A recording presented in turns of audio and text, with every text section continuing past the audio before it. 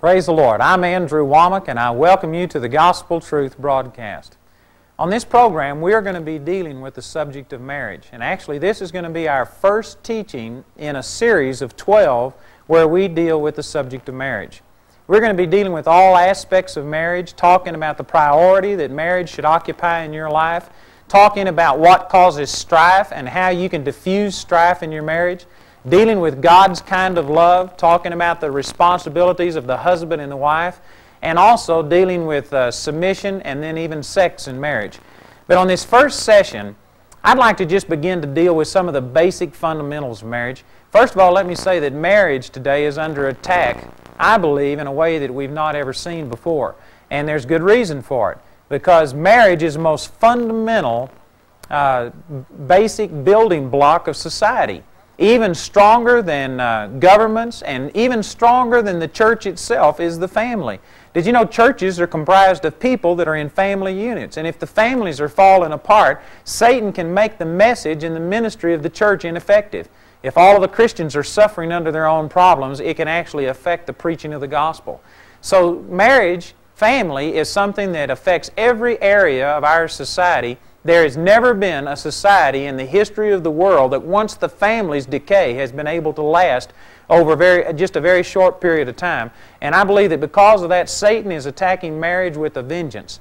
And if you were in a military battle and if Satan attacked you on one flank and threw all of this, uh, uh, you know, weapons and troops and ammunition, all of these things against you, if you were in a military campaign, you would have to respond in that place with an equal or greater force. And I don't believe that the body of Christ has been doing that in the area of marriage. We've kind of let it go, just feeling that if you're a Christian and if you've got your life straight with God, that marriage will automatically work. But, brothers and sisters, I want you to know that that is not so. There's a lot of people who really love God with all of their heart, and yet they're having problems in the area of marriage simply because we haven't taken the instruction from God's Word and applied it to our marriage. God's Word has an answer for every problem that you'll face in marriage. And I want to encourage you with that. We aren't going to be dealing in psychology. We aren't going to be talking about some peripheral issues, what I consider to be peripheral issues, but we're going to be going right to the heart of it. What does God's Word have to say?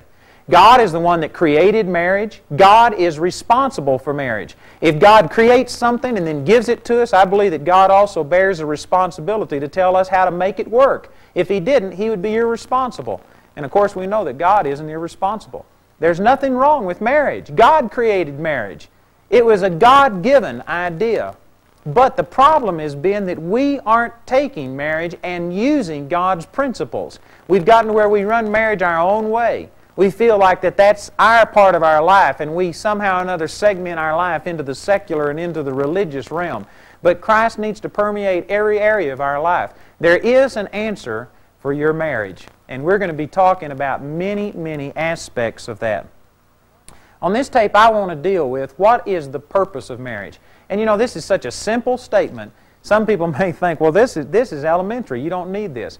But you know, I really believe that this is where marriage gets off on the wrong foot. People expect the wrong things of marriage.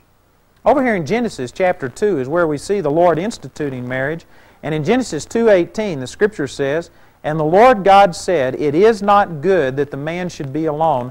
I will make him and help meet for him. Now, this scripture shows God creating marriage. God came up with the idea. God is responsible for it. And it says specifically here that He made the woman to be a help meet for the man. The word meet means sufficient or able. Now, I want to deal on this purpose of, uh, I mean, on this principle of what is the purpose of marriage. Most people, I feel, actually look to marriage to make them happy, to make them fulfilled, to supply them with companionship, to uh, do all kinds of things in their life. And that is not what these scriptures right here are saying. Marriage was created for Adam, who was sinless, who was pure. He didn't have loneliness. Now, I believe that loneliness came as a result of the fall. And that doesn't mean that he didn't maybe have a need for companionship, but it wasn't desperate the way that we see people today. Adam was not a desperate person that just had to have somebody to fellowship with. He was totally bummed out being by himself. That was not the purpose of God creating a help meet for him. Adam was not a person who was just weak and inferior and he needed somebody else to bolster him up. Adam was complete. Adam didn't need marriage because of weaknesses, because of inadequacies, because of any of these things that many times today we see people justifying marriage for. Many people come into marriage thinking, I've got to have somebody, I'm just so lonely. Other people come into marriage thinking, well, I've got to have the physical relationship, I just can't survive without it. Other people come in and think that I've just got to have this emotional benefit. I've got to have this, uh, you know, somebody there to talk to and all of these kind of things. Adam, that wasn't his problem. Now, I'll grant you that one of the purposes of marriage is for procreation. And that's evident here. The Lord gave him that command over in the first chapter, verse 26. Uh, I'm not going to spend a lot of time on that, but I would like to mention that there was something even greater than that. The Lord here said that He was going to make the woman a help meet, particularly suited for this man. I believe that the real purpose in marriage is not for the physical relationship, not for the emotional benefit, not for so that you won't be lonely, so that uh, you can be fulfilled in all of these things, but rather it's the power of agreement. Now we can see that in a lot of scriptures. Over here in Genesis, the 11th chapter is a good example of this, that the, that the um, people right after the flood came and they began to start building the Tower of Babel. And in Genesis chapter 11, verse 5, it says that the Lord came down to see the city and the tower which the children of men builded. And the Lord said, Behold, the people is one, and they have all one language, and this they begin to do, and now nothing shall be restrained from them which they have imagined to do. Go to, let us go down, and there confound their language, that they may not understand one another's speech. And so the Lord scattered them abroad on the face of the earth. The Lord here came down and saw the unity, the oneness that men had, and the Lord saw that nothing could be restrained unto him. He, there was power in this unity, even power to the degree that God saw it threatening His plan for mankind. They had now unified in a negative way, in an evil way, to accomplish evil instead of good, and the Lord saw it threatening His kingdom, and He had to come down and do something about it. Now, if you'd stop and think about it, that is awesome. That's an awesome statement about the power that's in unity for good or for evil. And I believe that this is exactly the reason that God created a mate for Adam. Is because by doing that, He didn't just have two people with the same power and together they were twice as good as one. But there's something happening, there's a multiplying effect when you get people together in unity like this. And of course, the husband and wife relationship is the strongest bond of unity that we have.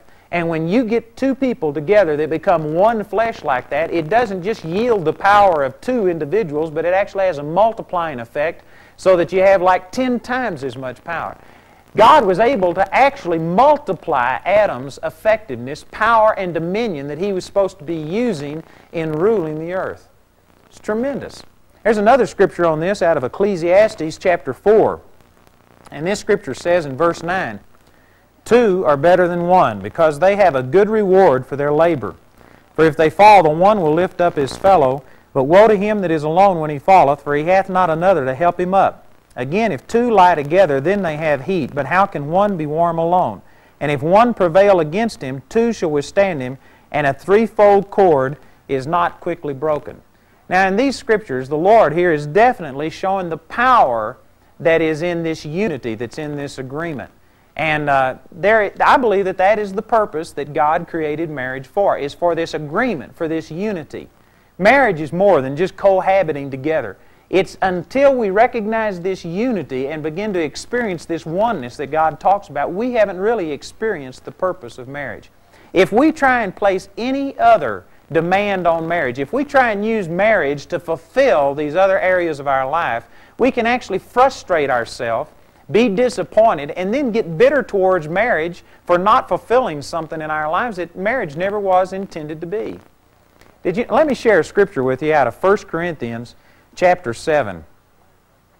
And this passage of scripture, I tell you, this just blows some people away, but I want to, I minister kind of by a shock technique. I say things that are so shocking to you that you'll listen to hear what I'm, how I'm going to talk my way out of this. In verse 39, it says, The wife is bound by the law as long as her husband liveth, but if her husband be dead, she is at liberty to be married to whom she will, only in the Lord. But she is happier if she so abide after my judgment, and I think also that I have the Spirit of God.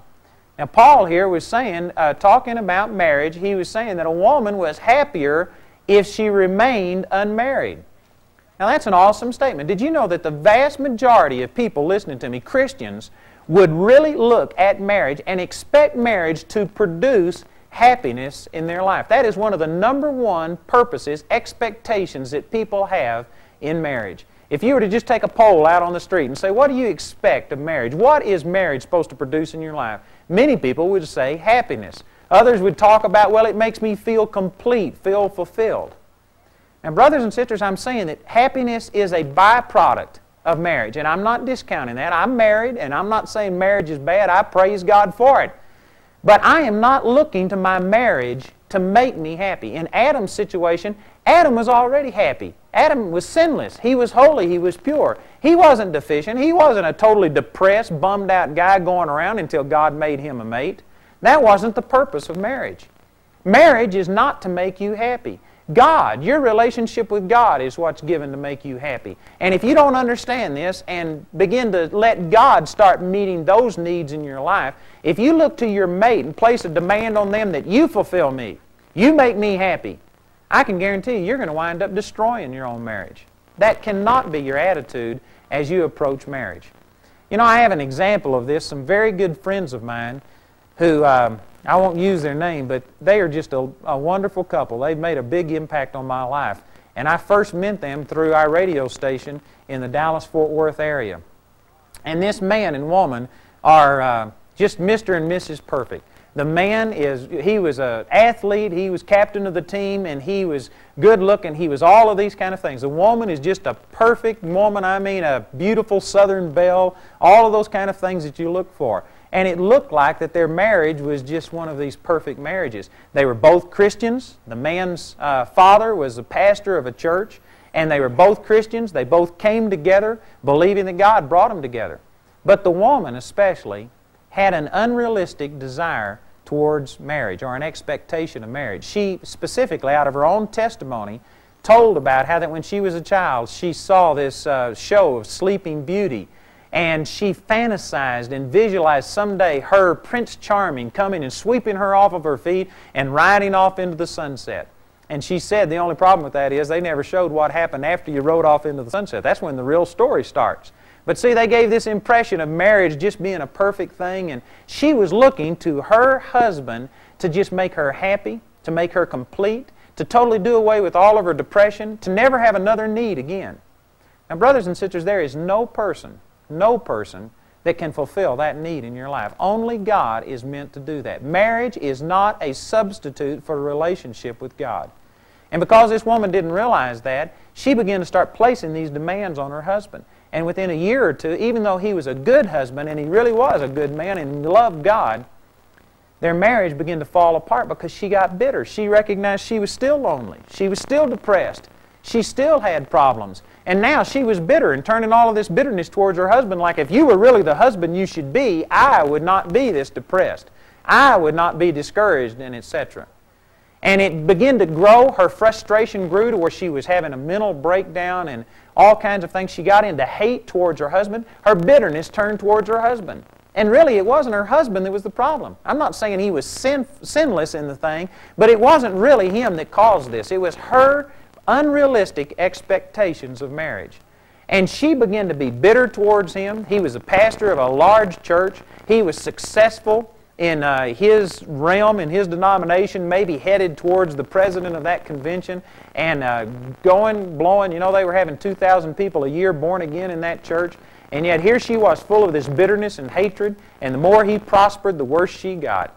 One time she met him when he came home and threw an entire pot of beans on his head when he walked in the door. Another time she threw a, a whole drawer full of silverware at him. And things were just getting worse and worse and worse. And did you know throughout this whole time he tried to walk in love towards her? He tried to be understanding. He was trying to operate towards her the way that Jesus would. And it finally reached a place where this woman was going to commit suicide. She went and bought a gun, tried to kill herself.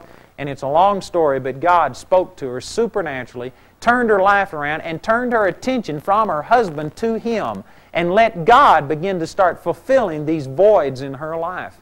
And did you know all of a sudden everything turned around? As her relationship with God began to excel, then all of a sudden she became happy and fulfilled, and things in that marriage began to work out. Now, during this time, the woman had actually acted so bad that the man lost his church. He got basically run out of town on a rail. All of his hopes, his success in the ministry had failed. And as a result, now the woman, here she was, happy and joyful, and the man who had been kind to her throughout this whole thing now got bitter because the one who caused him to fail was now happy and prosperous, and it just didn't seem fair to him. So here she was now walking with the Lord and operating in joy. And one time she brought him a cup of coffee, which she hadn't done in the past. She had never served him, and here she was trying to serve her husband, and she offered him a cup of coffee. He took one sip of it, and then he turned around and spit it all back in her face. And she just wiped her face off and says, Well, maybe you'd like tea instead of coffee. And she said she walked back into the kitchen and then walked into the bathroom and just screamed to get rid of her frustration. But see, she was walking in love towards him.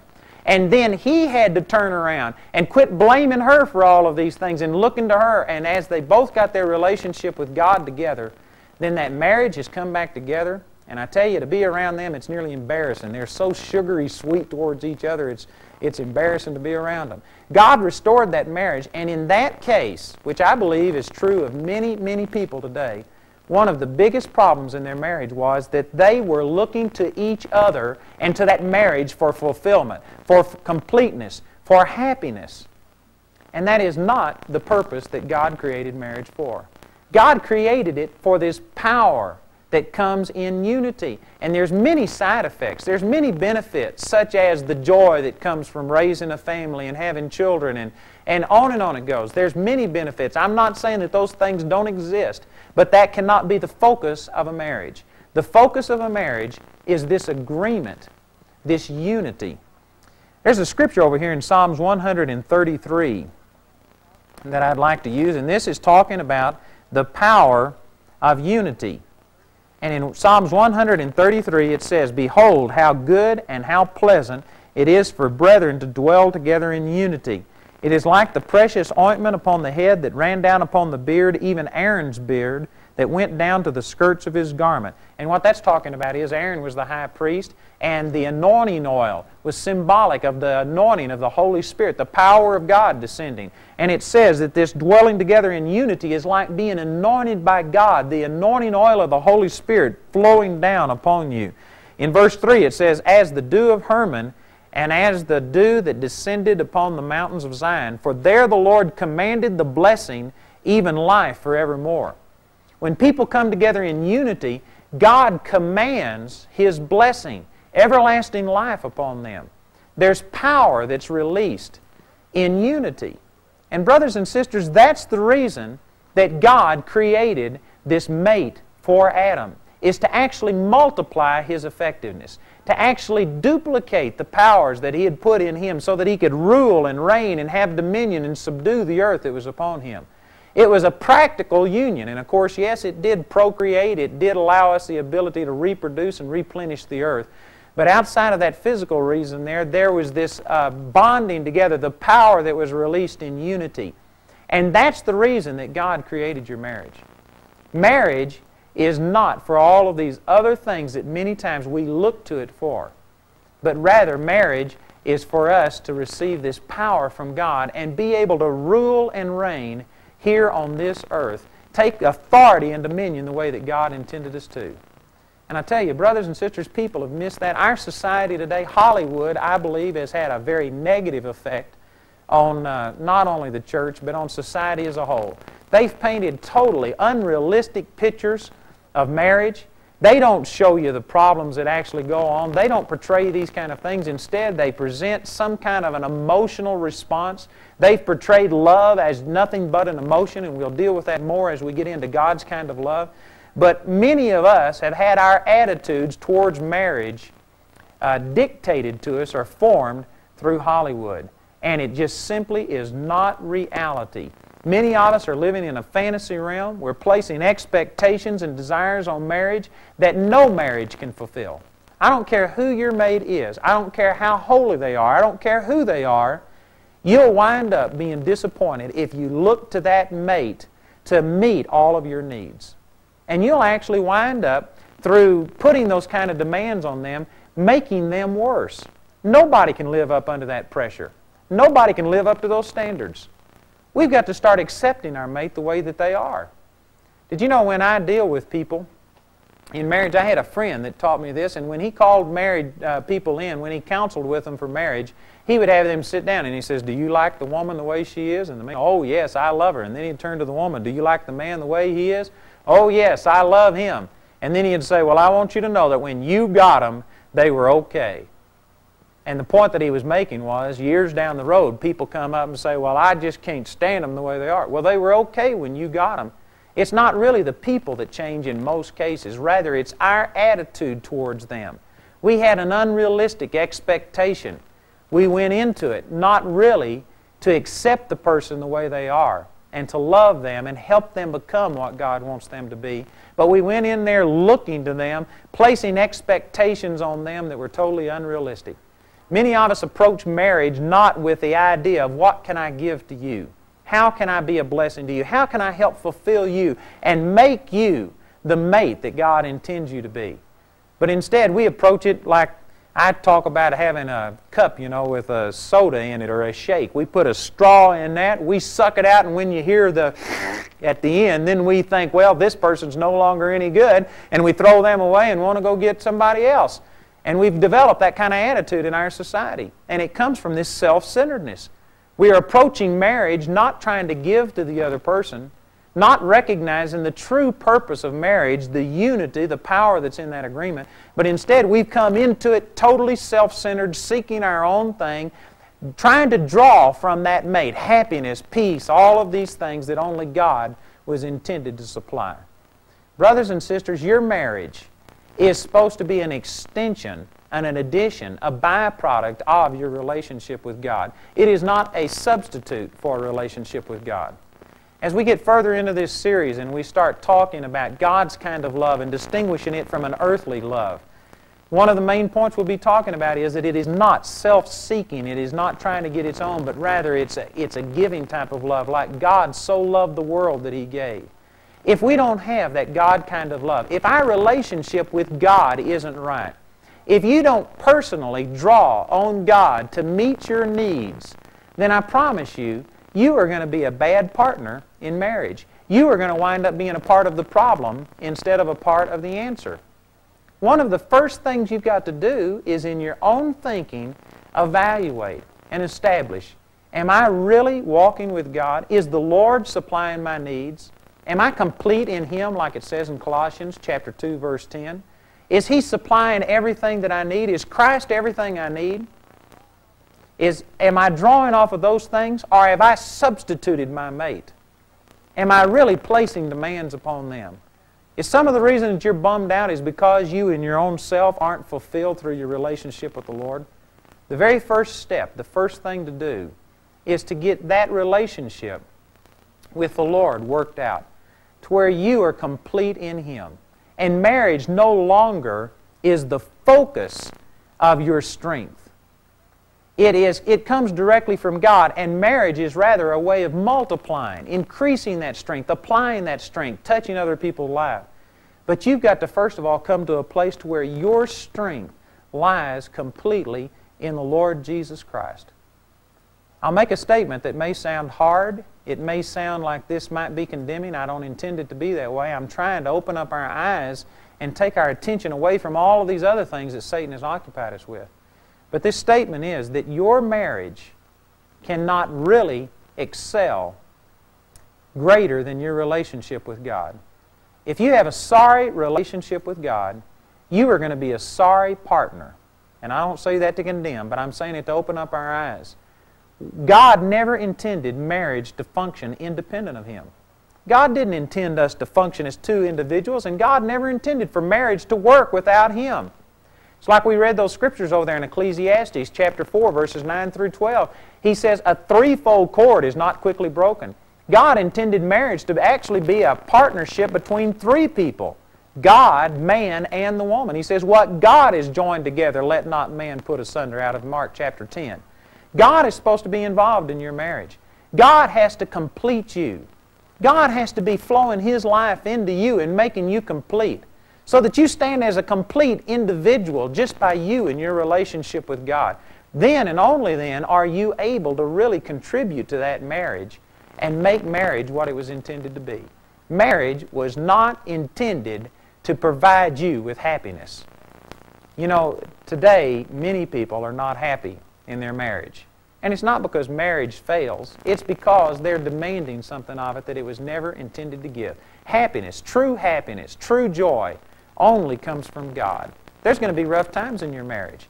And if you go into it with an expectation that there's never going to be a problem, then you're going to be disappointed. The Bible says in Proverbs chapter 13, verse 10, or verse 12, it says, Hope deferred makes the heart sick. And there's some of you that are going to get sick over your marriage, and then you're going to blame the other person like if they were the mate they should be, it wouldn't be this way, when the whole time it was the fact that you had an unrealistic expectation. You need to deal with that, and you need to put your attention totally on the Lord Jesus Christ and let Him be the one that supplies all of your happiness. I'd like to offer you some additional teaching on this subject. I have a cassette tape entitled The Purpose of Marriage. It'll go into a lot more detail than what I was able to on this program today, and I'd like to give this tape to you as a free gift. All you need to do to receive it is write into me and request our tape offer TM61. That's tape offer TM61, and we'll send this tape to you through the mail. Now, we distribute all of our tapes free of charge. We put out over one and a quarter million tapes now, and we've never denied anybody access to this. But we do encourage people to give as you feel that you can and as the Lord would direct you. So we ask you to pray about it and then respond by giving and helping us continue to reach out and touch other people's lives. That's asked for our tape offer TM61. You can write me, Andrew Wommack, at Post Office Box 3333. Colorado Springs 80934. That's box 3333, Colorado Springs 80934. Praise the Lord. I welcome you today to another Gospel Truth broadcast. I'm Andrew Wommack, and today we are sharing the second in a series on the subject of marriage. On our first series, as we talked about marriage, we began to start dealing with the um, purpose that God created marriage for in our life. And we said some things that were very startling, I believe. Uh, most people today really look to marriage to give them happiness, to give them total fulfillment, to give them a sense of completeness. And did you know God didn't create marriage for that purpose? God created marriage for the purpose of multiplying our effectiveness, and we dealt with this. The power that's in unity and in agreement and we used a lot of scriptures like 1 Corinthians chapter 7 verse 40 where Paul was talking about a person remaining single and he says they're happier if they abide single after my judgment and I think also that I have the Spirit of the Lord. So we saw that many people are trying to place a demand on marriage that God never really intended for it to supply. If you are looking to marriage to supply something in your life that only God intended for you to have, then you aren't going to experience uh, fulfillment. You're going to be frustrated, disappointment. You're going to get bitter towards your mate. And this is the reason that a lot of marriages are having problems and failing. And so we begin to start dealing with the fact that you are supposed to have a vital relationship with God. You're supposed to be complete without your mate. You're supposed to be happy without your mate. You're supposed to be uh, uh, experiencing fellowship with God so that there's not loneliness without your mate. Now, there is happiness and companionship and other things that come. But we cannot place a demand upon our mate that only God was intended to fulfill. God created marriage, and He created it for us so that we could flow with Him. God is intended to be one of the partners in marriage, and we used a scripture out of Ecclesiastes chapter 4, verse 9 that talked about that.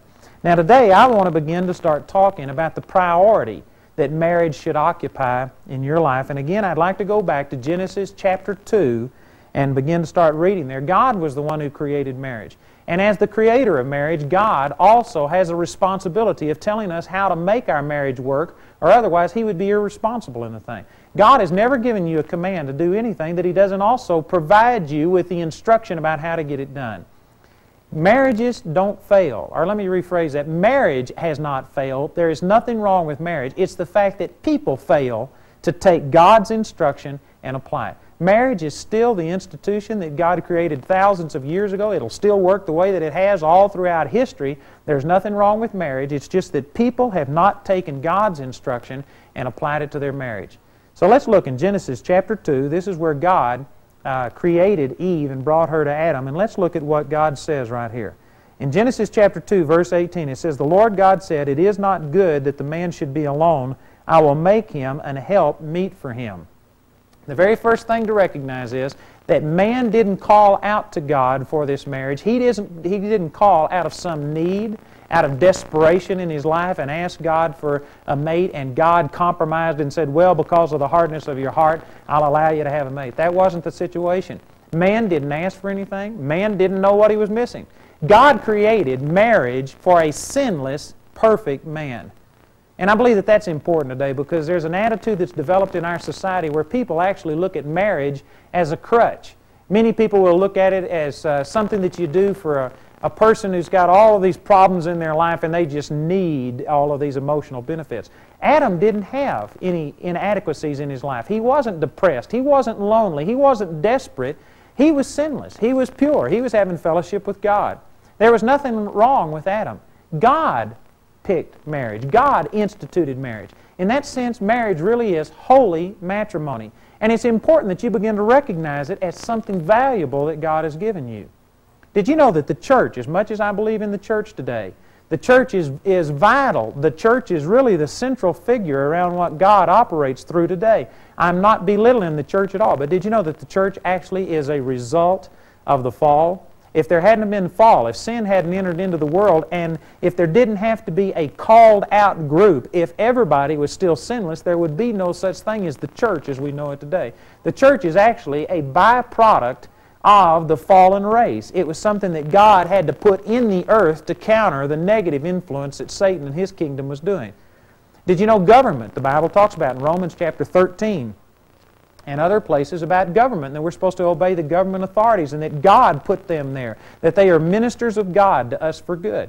I believe in government, but did you know that government is a byproduct of sin? All of those things, if sin hadn't entered into the world, there wouldn't be a need for those things. As important as they are, they actually are something that God never originally intended to be a part of the human race. So when you look at it in that light, marriage even it elevates the priority of marriage because God gave marriage to us when we were in a sinless state. It's one of the very few things that has been preserved and came through the fall on down to us today. God actually has given us an institution that was meant for sinless, pure man, and He allows us to still operate in that today. So that is a tremendous statement. Marriage is something that God created and gave to us, and it really is holy. If you begin to put that kind of value on it, well, then you'll treat it differently. A lot of marriages are failing because they simply aren't putting the effort into it. We treat it like something that we can just discard. We've got an attitude today about divorce, and we say, well, you know, if I don't like them, I'll go get me another one. You know, my dad died when I was only 12 years old, and uh, so before I got married, I was down visiting my relatives in East Texas, and I've got an uncle uh, that I call Uncle Saffy. And I remember that this uncle took me aside and he was giving me a little bit of fatherly advice. And he told me, he says, Boy, this isn't Sears and Roebuck. If you don't like her, you can't bring her back. And what he was trying to say was that, you know, this is a commitment. You need to recognize that you just can't throw this away. This is forever until death do you part. Well, a lot of people have lost that perspective on marriage, and because of it, they actually have marriages today where people uh, write out contracts and decide what they're going to do with their assets if a divorce was to come about. And they decide ways that they will get rid of that in case of that happening. Now, if you're planning for that, if you have plan B or if you have plan C, I can guarantee you that you're going to be pushed to that limit. You shouldn't have that attitude when you enter into marriage. It's a commitment. We need to put a value on it and recognize that it's something valuable, and you just can't separate yourself and, and uh, act like nothing happened and just go on. Now, if you've already done that, I'm not trying to minister condemnation, but I am saying that we are not putting the priority on marriage that we should have. You know, if I had something worth $1,000, I wouldn't leave it on the seat of my car and just go off and leave the car unlocked. If I have something that's worth maybe a dollar or something, you know, I, I might do that. Because, see, the value that you place on something directly depends on the way that you're going to protect it and on the way that you are going to uh, keep other people, you know, from coming against it. So the value that we place on marriage really depends, or it determines a lot the effort that we're going to put into it. We need to recognize that according to this Scripture, it's something that God saw for you that was good for you. It is something that God gave to a sinless man. And if a sinless man, if it wasn't good for him to be alone, then I guarantee you it's not good for you to be alone. God has given us something precious here, and we need to begin to start uh, elevating marriage and putting the priority on it that God gave to it.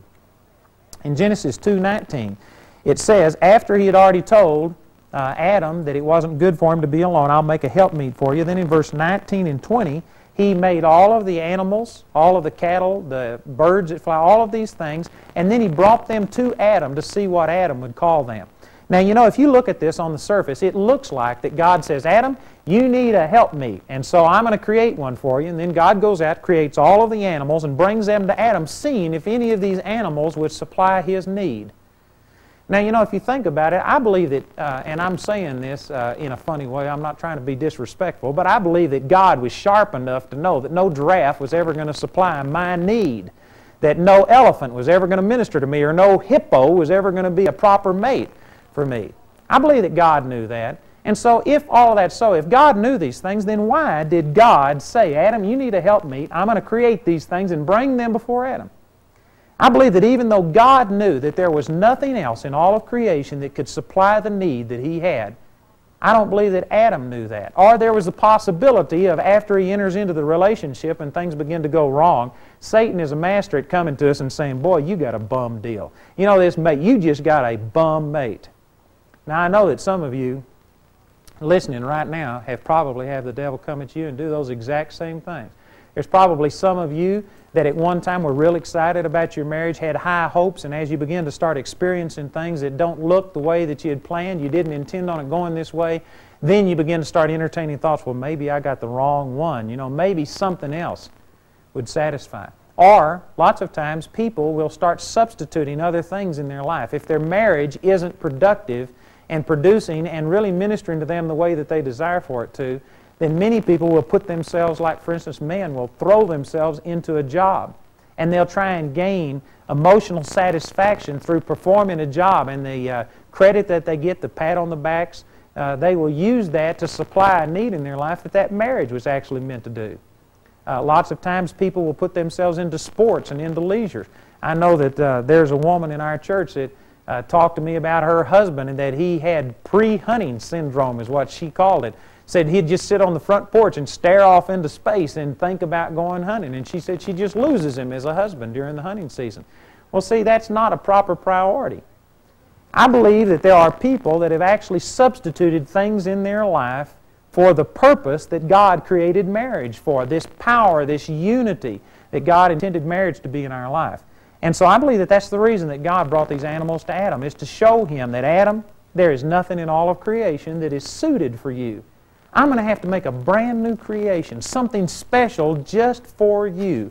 And what it would do is take away any doubt in the future that God maybe didn't uh, take the proper mate and give to him. This was something that God created special for Adam. Marriage was something that God came up with, and then He made something that had never existed before, something very special just for Adam. And I believe that the reason He brought these animals is to convince Adam that this is what you need. And it's important today that we recognize that. In verse 21, it says that the Lord God caused a deep sleep to fall upon Adam, and he slept, and he took one of his ribs and closed up the flesh instead thereof. And the rib which the Lord God had taken from man made he a woman and brought her unto the man. Now, again, the terminology here I believe is critical. Because, see, God didn't just take a rib out of man and then from that rib build some things around it and build another person out of it. The terminology here says, and the rib which the Lord God had taken from man made he a woman. I believe that literally out of that substance, out of that one rib that he took out of Adam, that he literally multiplied those atoms, those molecules, and made an entire person out of it. Now the importance of this is it stresses the unity between man and woman. Woman wasn't just a little bit like man. She didn't just have one rib in her that was uh, similar to man, and in that sense they shared something in common. But literally, that woman was a product of that man. That woman was that man just simply multiplied and reshaped. It was a total projection of him. In that sense, they were one. They were not two people, but they were one. What this does, it stresses the unity that happened in this marriage. Now, somebody might think, now, wait a minute, how can God take a rib and out of one rib build an entire skeleton and then flesh and all of these other things that's needed? Well, how can God create a person in the first place? I don't know how God did it. I don't know how God took five loaves and two fish, fed 5,000 men, and then had more left over than when He started. I don't know how God does that stuff, but He comes by it honest. Amen. I guarantee you that this scripture is saying that God took that one rib and made an entire person out of it. Eve was not just a little bit in common with Adam. She was literally Adam duplicated, multiplied over here. Now there's a scripture that bear this out over in Genesis chapter 5 verse 1. The scripture here says, This is the book of the generations of Adam. In the day that God created man, in the likeness of God made he him, male and female. Now notice the terminology here. It says male and female. That's talking about two people. Created he them, that's plural and bless them, that's plural, and called their name, that's a plural, their name Adam, singular. God, speaking about two individuals, called them Adam. Did you know that God did not call Eve Eve? The scripture says over there in Genesis chapter 3 that Adam is the one who named Eve. But when God was referring to Adam's mate, he called her Adam. He looked at them as being one person. Now that's awesome. Now, God is the one that has the true perspective on things. And when God looks at your mate and calls her by your name, that's because in God's sight, you are one. Did you know that we still have some trappings of this that have come down through customs? And lots of times we don't understand what these customs are. But did you know that when a woman gets married, she loses her maiden name and takes on the name of her husband? Like my wife was Jamie Harris, but now she's Jamie Wommack. And what she did was literally lose her identity to become one with me. And in God's sight, we are one person. God would call us Wommack, not Andrew and Jamie. And so, see, that's the way that God deals with us. God sees us as one. And then, under the inspiration of the Holy Ghost, going back to Genesis chapter 2, this is what Adam said after he woke up and saw Eve. It says in verse 23 that Adam said, This is now bone of my bones and flesh of my flesh. She shall be called woman because she was taken out of man. Therefore shall a man leave his father and mother and shall cleave unto his wife, and they shall be one flesh. Now, this is Adam speaking under the inspiration of the Holy Ghost. Adam didn't have a father or a mother to leave. So he wasn't saying this out of his own experience. This wasn't his natural wisdom, but rather this was inspiration by God. He was saying that for this cause a man shall leave his father and his mother and cleave unto his wife, and they shall be one flesh. Now, very few people, I believe, have really seen the union that takes place between a man and a woman. And again, because of a lack of understanding of this, then we simply don't place the value on marriage that we should. We allow Satan to tear apart that union and we don't fight for it. We don't defend it. We don't put the priority on it that God intended us to have. When my wife teaches on this subject, I've seen her before take two, picture, two uh, pages of a Bible like this and uh, say if you were to glue these two pages together, that would form a bond here. Now, this is not a perfect parallel because this bond is nothing near as complete as what actually happens between a man and his wife. But if you could just imagine gluing two pages of a Bible together like this, letting it dry and set, and then trying to separate them, you may separate them, but you'll never come out with two whole pages. And you know, this is what happens. When a man and a wife come together, they become one flesh, according to this scripture, and also Mark chapter 10 talks about this. There's a union that takes place that we don't understand we, uh, if we were looking at things from a natural perspective, we would value the relationship between a parent and child actually as being a stronger relationship than between a husband and a wife. Because here comes the wife and the husband joined together, and maybe they haven't even known each other, haven't been a part of each other's life for 20 years, and then they come together in some kind of a union. But we can see a direct relationship between a parent and a child, where, like with the woman, that child literally came out of her body. It's easy to see that relationship. And yet, under the inspiration of the Holy Ghost, Adam is saying that the relationship between a, a husband and wife is greater than that of parent and child. Now, that's the importance. That's the unity that comes. And you, if you break that apart, divorce, uh, in some, I'm not teaching on divorce. I'm not trying to condemn or condone or any of that, but I'm saying that at, at the very best, divorce never allows two whole individuals to come out of there. It destroys people's lives. And that's the reason that God said in Malachi chapter 2 verse 15 that he hates divorce. Not because he hates you if you've gotten a divorce. God hates divorce because of what it does to people. We have not understood the oneness, the unity that happens between a man and his wife. And because of it, we simply look at it as kind of some kind of a cooperation. Many people will say, well, marriage is a 50-50 proposition where you have to give and also take. But it's really not. It is a total commitment of yourself to that person. You literally become one with them, and you can't just break off that relationship.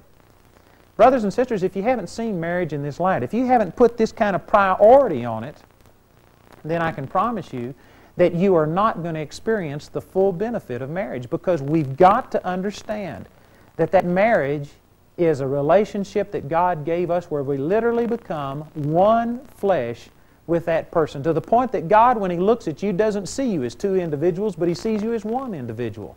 You have an authority to pray for your mate that you couldn't ever experience in praying for someone else. God has given you a control, an inroad, a part of that person's life to where you literally become one person.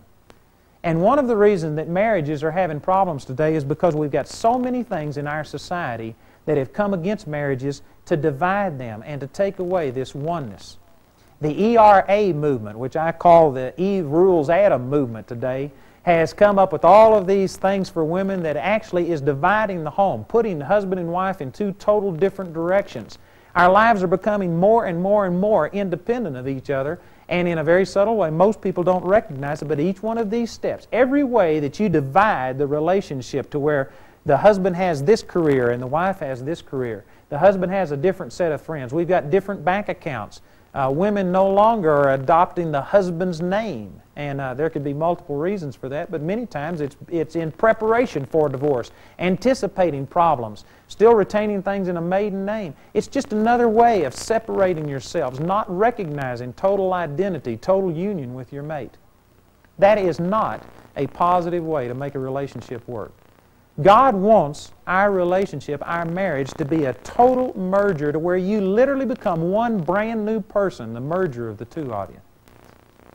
When my wife and I got married, we came together in a very supernatural fashion, and we were engaged to be married before we ever held hands.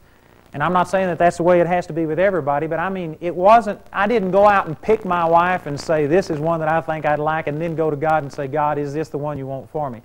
God put us together. And when we came together, uh, I literally, something happened on the inside of me. I remember right after our marriage, uh, I just had a totally different attitude. All of a sudden, God began to turn my life uh, in a different direction, and I literally became a, like a brand new person. Jamie and I together became a new individual. It wasn't me continuing in my lifestyle, and now I had another person that I was trying to cooperate with. And it was the same thing from my wife's standpoint. We weren't two different people now trying to go in a mutual direction, but when we came together, we had this concept about the unity, about the oneness that God had given us. And as a result, we literally became one brand new person. We began to start functioning as a new individual. Now, I really believe that that is the way that God wants a marriage to work. Instead of two people trying to go in a mutual direction, we literally need to become one brand new identity. Now, I know I'm speaking what is ideal, and there's many of you that have already got a situation that is so far removed from that you wonder if it's possible. But I believe that that is exactly what God desires for you. And in the spirit realm, see, this has already taken place. It's already a reality. There's a union that takes place, whether you understand this or not. Over in 1 Corinthians chapter 6 and verse 17, there's a scripture that says, uh, He that is joined unto a harlot is one flesh. And then it goes on to say, But we are joined unto the Lord, and we become one spirit with the Lord. And this is not the main point of that scripture, but in, in passing, what he's doing is saying that even in a relationship where it's like an adulterous relationship, where you're going into a harlot, there still is this one flesh. There is a unity that takes place. So it doesn't have to necessarily be acknowledged. It doesn't have to have faith released for the transaction to take place on the inside. But to receive the benefit of it and to make it work to its fullest extent, you do have to believe. So the point that I'm making is that whether you acknowledge it or not, you may not see unity in your marriage. You may think that, boy, we're as different as we can be. Strife has divided us. There's no unity or anything. And yet God has made you one with that other person. There is a unity, just exactly as we can see here with Adam and Eve, the way they came together and became one brand new person. The same thing has taken place with you if you've entered into a marriage relationship. There is a unity. And so rather than feeling that this is unobtainable, rather than feeling that this is something that I don't know if it'll work in our marriage, what you need to do is recognize it's already happened and just begin to start taking advantage of it and putting your faith in it. Now, there's much more that we're going to say about this as we continue on to deal with this. We'll be dealing in another subject, talking about some of the things that come against our marriages to divide this unity. But this point that we're making here, I want you to remember that God looked at Adam and Eve, and God didn't call them Adam and Eve. He called them Adam. He called two people by one name because in God's sight they were one. God has put you together with a mate. There is a unity that's taken place. And if you would just get that concept, if you would do what we've talked about on this broadcast, and if you would just simply take the priority that God intended marriage to occupy in your life, and begin to say, God, this is something holy. It was something that you gave to a sinless man. It was something that was for man in a perfect sinless state. And you've given it to me. If you would begin to evaluate it like that, and then if you would look at your mate and recognize that God didn't intend you to function independent of each other and not even just in cooperation with each other, but God intended you to function as a brand new person. As a brand new person. If you could understand that and then begin to start operating in cooperation with what God is saying right here in these scriptures, I guarantee it would revolutionize your life. Uh, the same principle is used once again over in Ephesians chapter 5, and we'll be using that as we go through this series.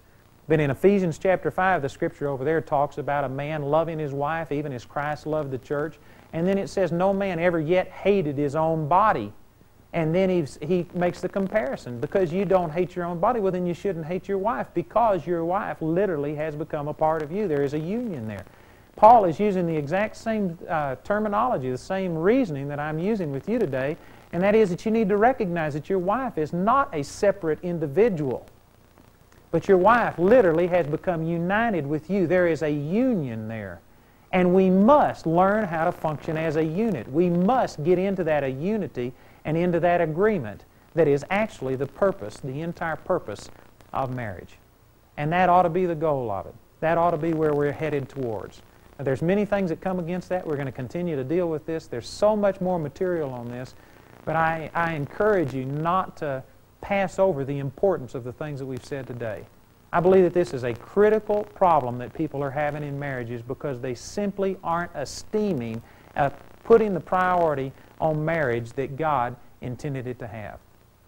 And if that's the case with you today, then I encourage you to just humble yourself and right now say, Father, I want you to open up my heart and show me, reveal to me exactly how important this marriage is. Forgive me for not putting the priority on it that you've placed on it. And as you do that, I tell you, God is going to do a work in you and also a work in your marriage.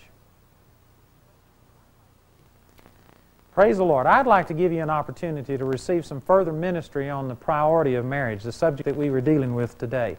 I have an audio cassette that deals with this subject. It's entitled The Priority of Marriage, and you can have a copy of that free of charge by simply writing in to me and requesting our tape offer TF9. That's tape offer TF9.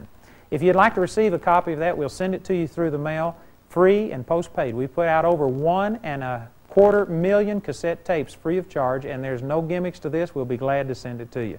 For those of you who can give and help support this ministry, then we would appreciate it. That's the way that God meets our needs, and also that's God's system of blessing you. So write in and request this tape offer, TF9. You can write to me, Andrew Wommack, Post Office Box 3333, Colorado Springs, Colorado 80934. Praise the Lord. This is Andrew Wommack, and I'm glad that you've joined me for another Gospel Truth broadcast. Today we're doing the third in a series on the subject of marriage. And we've already covered quite a bit of material, and just real briefly as a way of review, I'd like to say that we've started out of Genesis chapter 2. We've started talking about marriage, and first of all, we dealt with what the purpose of marriage was, which really was a revelation to me because I know that uh, myself, like a lot of people, thought that marriage was for the purpose of producing happiness in my life, making me complete, and on and on the list goes. Well, really, the main purpose of marriage was, of course, procreation, but then beyond that, it was to provide us with the agreement, and we dealt with that. It is not for the purpose of happiness, and if you try and use marriage to accomplish something that God didn't intend it to, well, then you aren't going to get the right results. And many people have simply been substituting what God intended a relationship with Him to produce, and they've been trying to place those kind of demands on a marriage, which of course cannot work Nobody can meet that standard. So we started off talking about what the purpose of marriage was. And then on our last teaching, we were dealing with the priority of marriage. What kind of priority should it occupy? And we've been taking our teaching out of Genesis chapter 2. This is where the Lord created marriage. He's the one that instituted it, and so that right there shows us that it should occupy a very high priority. This is not something that man asked for, but rather it's something that God looked at a sinless man and said, You need this. And then God created him a special mate, somebody that was completely different from the rest of creation. This, there was nothing else in creation that could supply this need. And so God made him somebody that was in his own likeness, in his own image, literally an extension of himself. And we dealt with that on our program last time.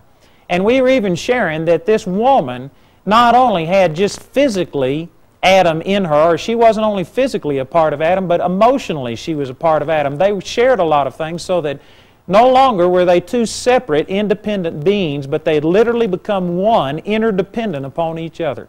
Now, if that kind of attitude is not present in a marriage, that's one reason that marriages don't succeed.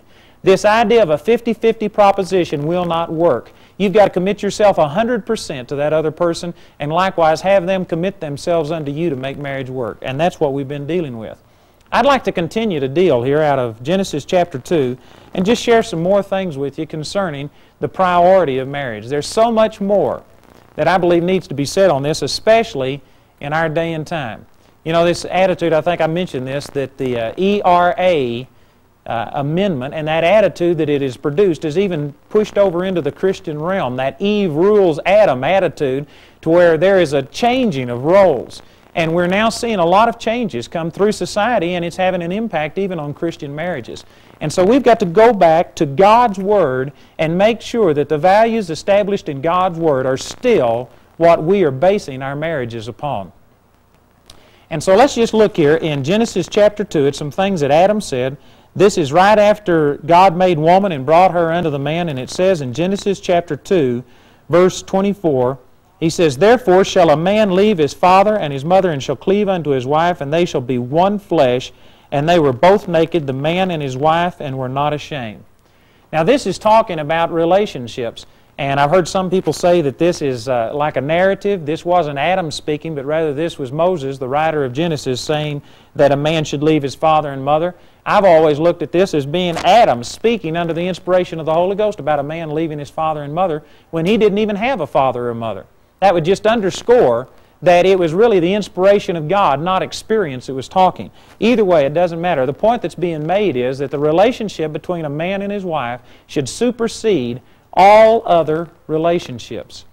Now, on the surface, I believe that most people would agree with that, but you know, in practice, that's not really the way it works. I deal with a lot of people, and I've pastored three different churches, and in the process of pastoring these churches, I've had a lot of people come to me with different problems. And did you know that this problem of an in law in marriage, the problems that that cause, uh, causes, has uh, been one of the main problems that I've dealt with throughout the years. We also have these marriage seminars that we put on during the year, and we have questionnaires that we have people fill out. And we rate different things on there and ask them for problems. And did you know that we have in there a relationship with in-laws and we rate it from 1 to 10, 10 being bad, 1 being good. And did you know that in the majority of spirit-filled marriages, there still is a problem with in-laws. And it's a problem. It, it puts strain on a marriage. You know, I've had an example, and I won't go into details on this just because we need to move on and cover time. But I've actually had two major examples that I could give of people who were having problems physically. One of them was physically sick, and another one was having a lot of marriage problems. And as I began to deal with them and talk to them, really the inroad of that was coming through an in law. That they had never broken this dominance that, they, that their parents had had over them. And that's not totally wrong because, I mean, they were trying to honor their parents. But you've got to do what the Word says right here, where you leave your father and mother and cleave unto your wife. That means that no relationship comes beyond or comes before that relationship of husband and wife. And a failure to live by this has actually caused Satan to have inroad into that marriage. I tell you, marriages have enough problems without us adding to it. It's hard for a man and a woman to get along and begin to start really cooperating and flowing as one. And so we just don't need any excess baggage. The Lord here is saying that no other relationship should take priority. Marriage should have number one priority in our life. You know, I minister also to a lot of ministers, and I minister on the subject of marriage. And one of the things I find constantly that occurs in ministers is that they are giving a priority to the ministry and to ministering to other people, and they let their family go by the wayside. Now, it's not intentional, but I mean, most people don't differentiate between their relationship with God and even their relationship to the church, or in a minister's case, to a ministry. You know, there's, there's a lot of people that wouldn't dare put in 60 or 70 hours a week on a job because they'd think that job just isn't worth it. I've got to give time to my family. And yet a minister will put in 80 hours a week very easily and let his family take back seat. I remember one minister had a vacation plan, the first one they had taken in years, and as they were leaving the house, he got a phone call. Somebody in their church had died, and he had to go minister to them. They canceled their vacation because of the needs of the people in his church. And we just simply need to recognize that it doesn't matter if you're a minister, it doesn't matter how noble your cause is, even if it's ministering to other people, you've got to put the relationship between you and your wife and then your children even above that ministry. The same thing is true of jobs, that a job cannot take precedent. If you've got a job that is taking you away from your family, I've known some people that actually had to go live away from their family months or weeks at a time and then they expect their family to prosper. Well, that's not the way it works. And I understand that sometimes, you know, in a crisis situation, for a brief period of time, you may be able to do something like that, but you cannot keep it as a, a lifestyle. We, what this is saying is that the marriage relationship has to occupy the highest priority, I believe, only below our relationship directly with God. You've got to put that kind of a priority on it so that literally friends, relatives, jobs, Anything else that comes along, nothing preempts that relationship that you have with your mate. Now, failure to do this is causing a lot of problems in marriage, and we could go nearly indefinitely on this. One of the things that I'd like to point out, and I'm, I'm doing this not really because I'm trying to pick on a certain area, but I believe that one of the greatest inroads that Satan has made to divide this oneness in the marriage and putting a priority on your relationship with your mate, one of the biggest ways that he's done this and has been basically undetected has been in the area of the roles of the husband and the wife. Uh, anybody that's been paying attention recognizes that over the last 50 years there's been nearly a complete reversal uh, in the uh, traditional American family. We've now got uh, our standard of living is up so high that many people are having to both husband and wife work, sometimes more than one job, and it's putting strain on the home. Now, I'm not here to condemn, and I'm not here to tell every single individual that you've got to be exactly this way because there can be different circumstances. Uh, we have, for one thing, more single parents uh, running a home than has ever happened in the history of the world, as far as I know, certainly in the history of this nation. And so, in a situation like that, you may have to do something else. But it is not God's ideal situation. I believe that those of you that are in that situation would agree with that. And it causes problems and pressures on the home. And there are many of you who are listening to me that it may be by choice that you've chosen to change, that no longer do we have the church standing here saying that this is the traditional home, this is the way God ordained it to be. Uh, really, the church has, has gotten away from absolutes, saying that this is the way God intended it to be, and everything's becoming relative, and it leaves it open for people to just adjust and pick and choose what they want to be. But that's not the way that God intended it. There are some statements in the Word of God that show us that uh, a traditional home, as we've uh, come to know it in the past, is the way that God intended it to be. Let me share a scripture with you out of 1 Timothy chapter 5. And this scripture is talking about the ministry to the widows in the church. But in the process, he's saying that the widows shouldn't be uh, charged to the church unless they don't have any relatives at home that can take care of them, so that the church would be free to take care of the people who are widows indeed. And it says this in the process of explaining all this in verse 8, 1 Timothy chapter 5, verse 8. It says, But if any provide not for his own, and especially for those of his own house. Now, this is talking about like a nephew or a son providing for parents, but then it goes on, especially for those of his own house. He is worse than an infidel and hath denied the faith. Now, that's a strong statement, and that's saying that if he is not financially responsible for his own, especially those in his own house, he's worse than an infidel. That means he's worse than a lost man. He's denied the faith. You know, this is a tremendously strong statement that Paul made here, and most of us today, most of the church today hasn't put this same emphasis on the man being the provider for the home. And because of it, we've now got to where we have actually, usually in a lot of cases, the husband and the wife having the burden and the responsibility of providing for the home. Let me share one other scripture on this out of Titus chapter 2. And in Titus chapter 2, it's giving commandments to the older men and also to the older women. And in verse 4, it says that the older women are supposed to teach the young women to be sober, to love their husbands, to love their children, to be discreet, chaste, keepers at home, good, obedient to their own husbands, that the word of God be not blasphemed. And this scripture says that a woman has been given the responsibility of being a keeper at home and guiding the house. Now, that is not to say that a woman cannot work. And I'm not saying that you're living in sin. I'm not saying any of those things. But I'm saying in God's best situation, the best possible circumstances, God gave the man the responsibility of providing for the home, and God gave the woman the responsibility of guiding the home and staying there and giving direction to the children, etc. Now, again, there's cooperation. The man uh, in Ephesians chapter 6, it talks about fathers, provoke not your children, but bring them up in the nurture and the admonition of the Lord. So that scripture talks about the husband having a role in the training of the children. I'm not saying that the woman has that total responsibility. I'm not saying that a man has to just bring in every penny that's ever produced in the home. You could go to Proverbs chapter 31 where it talks about a virtuous woman. And that virtuous woman, she went out and she bought a field. She was involved in real estate. She made garments. She was up early, stayed up late. She had maidens working for her, and she produced income for the home.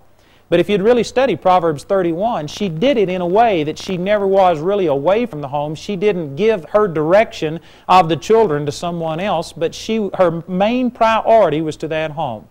And so I think that that's what I'm saying is that the man has the main priority, the responsibility for being the provider. The woman has the responsibility for guiding the home.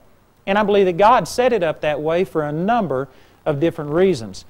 Let me just say this that, you know, in our world, there's pressures that come upon you as you're out in the world making a living. And I believe that every person listening to me can understand that. And if you take the man and put him into a situation where, I mean, he goes to work, he's battling these pressures, he has his boss maybe say things to him, he runs into relationship problems with other people, he experiences all of these things. When he comes home, he wants to just sit down, relax, put these things behind him, and he needs to be ministered to. Now, if you take the woman who God created to be in the home and to minister to that home. And again, going back to those scriptures we started with in Genesis chapter 2, the woman was given to the man to be a help to him. In 1 Corinthians chapter 11, the scripture there says that the man was not created for the woman, but the woman for the man. She was created specifically to help him and to be sufficient, help him to be everything that God wants him to be. Now, that's the way God intended it to be, but if you put the woman out there in the same work world as the man is in, under the same pressures, and let me add a little parenthesis to this, I'll be right back to my point, don't forget where I'm going. But if you put a woman in that situation, the scripture says in 1 Peter chapter 3 that the woman is a weaker vessel. Now that doesn't mean that she's, that's not, I don't believe, talking about only physically that she may not be able to lift as much. It's not talking about that she's inferior or any of these kind of things. She's different. God made a woman to be soft, to be kind, to be sensitive. In a lot of ways, a woman is not able to take criticism and pressures the same way that a man is. And some people may debate that, they may argue that point, but I believe that that's exactly what the Scripture is talking about. There's a difference between men and women, and it's not only physical, emotionally, there's a difference. And God really created the woman for a different purpose than to be out there providing the living. And we can see that from the Scriptures that we've already used. So the man is actually more capable, more equipped to be out there facing all of these pressures. The woman was meant to be at home. And so you take that situation, you put the woman into a pressure situation, she comes home. this woman is just as wasted, just as much, uh, you know, under pressure as the man has ever thought about being. And actually, I believe probably those pressures impact her more. You put her in that situation. She comes home. The man is totally wrung out. He comes home, wants to just sit and relax. And yet, in most homes, the woman is now expected to come up with supper, and then after supper to wash the dishes, and then to take care of the kids, make sure their baths are done, and on and on it goes. And so the woman works, is just as in need of ministry as the man is, and yet here, when she comes home, there's just more and more demands placed on her. And I tell you, that's just like a stick of dynamite. It's just a matter of time until it explodes. And those of you that have been in that situation, I believe that without exception, those of you that have both uh, mates working and providing the living have probably at some time or another had words over the fact, well, why don't you help? Why don't you do this? I've been out working and doing the same things that you have. And so, brothers and sisters, this is not really the setup that God intended for marriage. I believe that the ideal situation that God has for marriage is that the man go out and provide the living, and then the woman be at home, guiding the house, taking care of the house, Again, let me put a parenthesis in here. ERA has come across, and in an effort to motivate women to get out there and, and make something of their lives, has put down staying at home to such a degree that there are many of you, even Christian women, who would think of being at home as, man, what a waste of my time. I'm doing nothing, just sitting there watching soap operas all day. You mean that's what God wants me to do? Well, I can guarantee you, God doesn't want you to stay home and watch soap operas all day. That's not what I'm talking about. You know, if you truly Give direction to your house and take it as a ministry and minister to your home. I guarantee you, it is a full time job. My wife keeps a good house, and I guarantee you, my wife is busy constantly. I don't believe that you can rear children if you have if you have children still in the home and take care of the home and do it in a godly fashion and have a lot of spare time on your hands. But you can do it in a controlled environment where you're able to play tapes, listen to the Word, be built up, pray for your husband, and then when he comes home, instead of you being drained and, and there being a collision of personalities, you can be there to minister and to build up your mate. And I tell you, it would, it would make a tremendous difference in that home. Many of you, this may seem strange to you, but I can tell you from a husband's standpoint that a woman can minister to a man by being in that home and ministering to him in a way that many of you have never recognized. Again, a man is not a real good communicator and he may not show his appreciation for it, but I guarantee you they can tell the difference when you aren't there to minister to them. You know, I'm a minister. I've got all of my staff working for me, and uh, some people think that there's no pressures on me, but I've got 26 people working for me, and anytime you have 26 people, I guarantee you, you got problems. You got personality problems. I've got financial problems. And there's some times that I go to my office, and when I come home, I mean, I am praying in tongues 90 to nothing, trying to get the problems off of me. And there's been times that I've walked in, and Jamie has been at home. She's been fixing for me, fixing food, baking, or doing something. She comes up and greets me, and because she is spiritually built up and encouraged, I tell you, that has done more for me sometimes than five or six hours worth of prayer and Bible study could do. And those of you that have ever been in that situation, I believe, can relate to that. A woman has a tremendous potential to minister to her husband that I think that a lot of women have been talked out of. We don't recognize it. Over in the eighth chapter of the book of Matthew, Jesus came into Peter's house and ministered to his mother-in-law. And it says that he rebuked the fever. The fever left her. She got up and ministered to him. Now, that doesn't mean that she had Jesus sit in a chair and preached at him for 30 minutes. That means that she got up and fixed his food, that she washed his feet. She did those kind of duties that a woman in the home was doing, and the Bible calls it a ministry. I tell you, women, it's a ministry to minister to your husband and to minister to your children. Now, I'm not saying that that's the only ministry that you can have. I've got women on my staff that work for me, but we constantly try and put it into perspective and make sure that they maintain the priority of their home first. You may be able to do other things, but you will never do anything that is more important than ministering to your husband and ministering to your children. Men, you may have other responsibilities, but don't ever let that job begin to start taking the place that God intended that home to have. I believe that that's what these scriptures in Genesis chapter 2 are all about when he says, Forsake your father and mother and cleave unto your wife. You know, probably one of the best examples we have of this is over in John chapter 2, and I believe it's verse 4. And this is where Jesus was at the marriage feast in the land of Canaan. or in the town of Canaan, and it was where he turned the water into wine. And even though Jesus wasn't married, he was going through this process of breaking away from the dominion of his mother. And she came to him trying to place a demand upon him. And you know, he said unto her, He says, Woman, what have I to do with you? My hour is not yet come. Now, that term woman is not necessarily a derogatory term, but I mean, it's, it's really not an affectionate term. It's something that you wouldn't expect Jesus to say to his mother. And yet, what he was trying to do was to distance himself as no longer being her child, under her dominion, under her control. He had to be about his father's business. He even said that when he was 12 years old, but because he was still 12, he submitted himself unto his parents and went home with them. But here he is, 30 years old, beginning his ministry, and his mother is still trying to exert influence. And you know, I can understand that uh, because as you raise a child, that at one time that child was so dependent upon you that it's easy to just get in a mindset, in a mode that it's hard for you to see them as grown, as being independent of you. And yet, that's what the Scripture says it should be. Actually, the final um, act of a parent, the final responsibility that a parent has to its child, is to cut that umbilical cord for their child, to tell them that I love you, I'll be here as a brother or a sister in the Lord, to help you any way that I can. But as far as me being responsible for you, you being dependent upon me, you now need to cleave unto that mate and make your relationship to God and your relationship to your mate the thing that sustains you. Now, that's the way that God intends for it to be. And parents, we need to deal with our children and train them in that direction. Children, if you're already in that situation and you recognize that your parents are having a, an undue influence on you, like for instance, if God was to speak to you today and call you to be a missionary, to go to Africa, and if one of your first responses was, What are my parents going to say? How could I ever convince them? What about the grandkids? What would they say about not being able to see them? Now, I don't think it's totally wrong to have that as a consideration, but if it becomes an obstacle to you, something that you say, how could we ever do this? Look what their response would be. Well, then they're having a dominance in your life and it needs to be broken.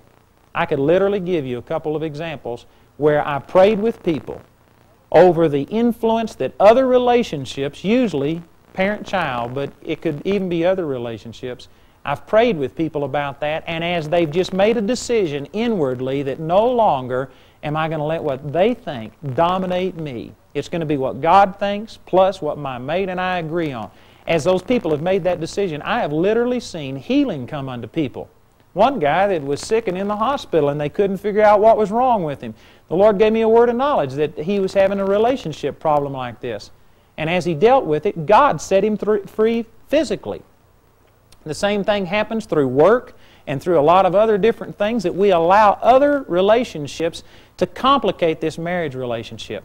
What the Lord is saying through all of this is that your marriage should occupy the number one place in your life outside of your personal relationship with God. If you're a minister in ministry, you need to put your family above that church. You know, we make jokes about preachers' kids, and the reason preachers' kids have turned out so bad and we've had so many problems with them is because parents have literally neglected their children in an effort to reach other people. That's not what God called me to do. When I stand before God, I'm going to give an answer, first of all, for my relationship with God, then a relationship with my wife, then my relationship to my children, and then ultimately the fulfillment of the ministry that God's given me.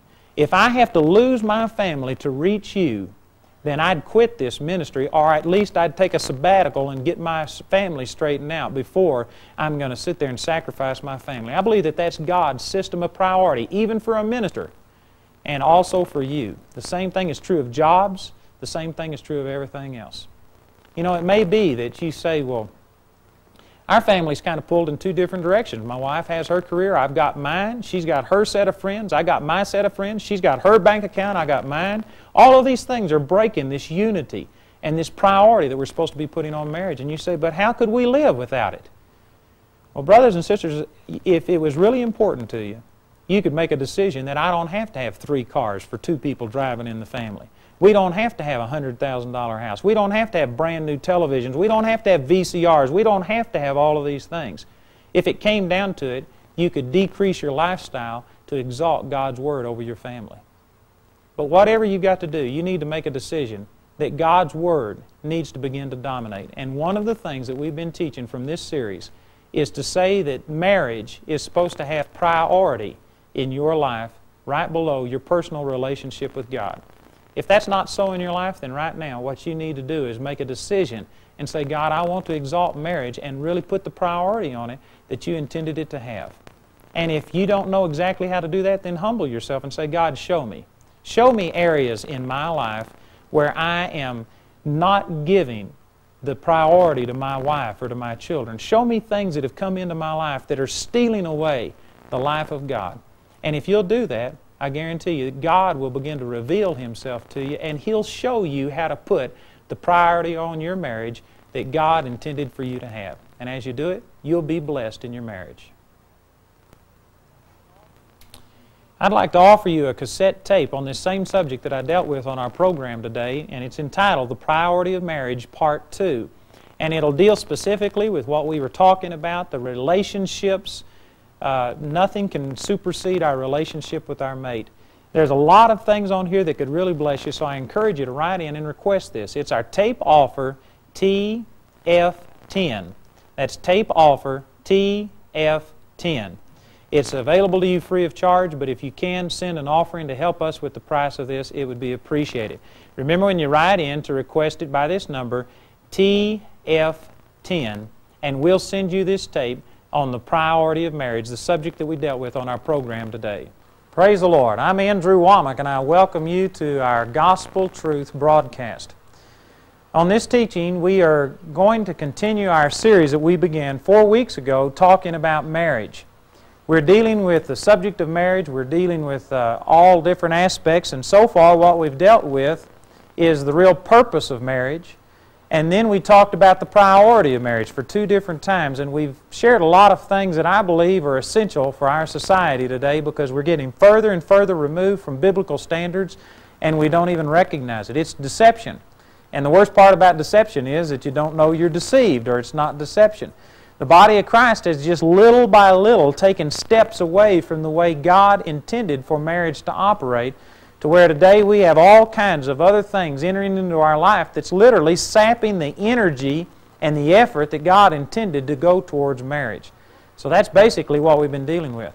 On our program today, I'd like to begin to start sharing with you about strife and about the damage that strife has in a family, and most importantly, about what you do to turn that around and to stop strife. Strife is something that is not just a uh, uh, inevitable part of marriage. It's not something that has to be there. God didn't intend for it to operate. The Scripture tells us exactly what it is that causes strife in marriage.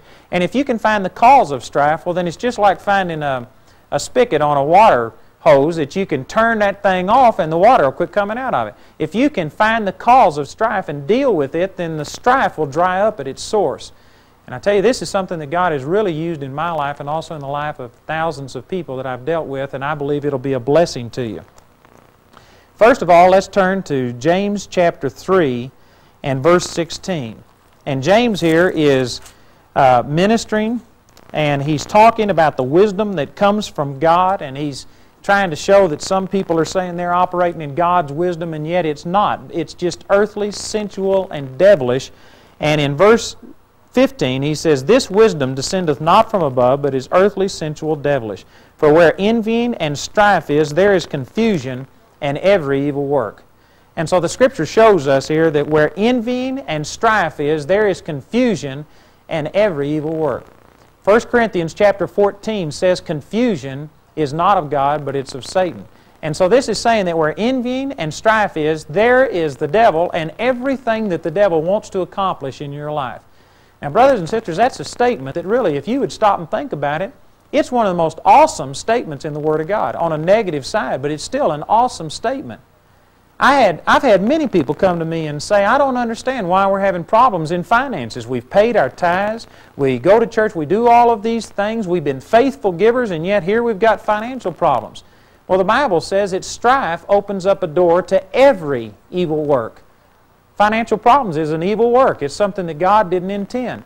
And sometimes people don't recognize that because uh, they're having strife in their home that it's giving them physical problems. It's giving them financial problems. All of these things can come through strife. I've got an instance of uh, some people, and I'll try not to give much detail on this, uh, but it really was a classic example of people who I came to the church, and just uh, two weeks before I got there, a boy had died, and the church had been standing. They had prayed, they had fasted for him to be healed. And when he died, it was just devastating to people's faith. And they were beginning to question, you know, is it really God's will to heal in every situation? The parents had done everything. They had confessed the Word of God. The church had gone on a fast.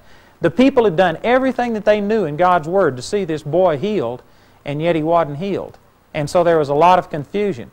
And it took me a couple of days talking to the parents and other people, but I finally found out that there was strife in the home. There had actually been talk about divorce. And the very day that this boy had gone to school and had had an accident, he went over to a friend's house and was shot in the head with a gun and was in a coma for like six weeks. The very day that that had happened, there had been an argument with the mother. Some harsh words were said. Strife was just running rampant, and then they were just perplexed about how could something like this happen.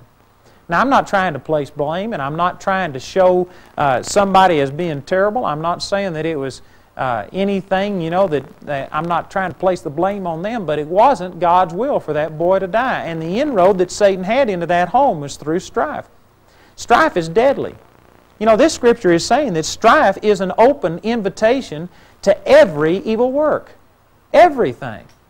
You know, if you were to have a cobra in your house, a cobra snake. Now, some of you may not be afraid of snakes, but most people are. But even if, if you did, weren't, didn't have a fear of snakes, I guarantee you, would not live in a house with a snake just going around, and sooner or later that thing was going to get you. You didn't know if it was going to be a day or a week or a month, but you had a cobra living in your house.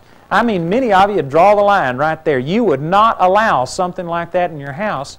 And yet the scripture here is portraying strife as far deadlier than any snake that you could ever have. A snake may bite you. There may be an antidote for it. At the very worst, it could cause physical death.